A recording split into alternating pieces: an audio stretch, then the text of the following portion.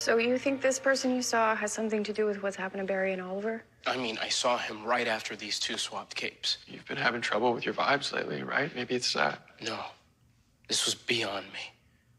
I felt like something important. We need to see it.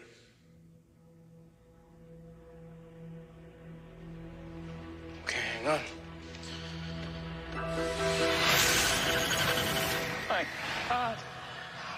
I can see everything. Fascinating.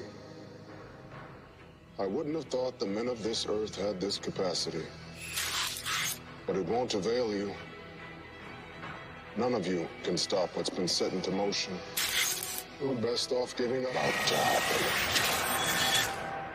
Are you okay? Nope, not even close. What did you see?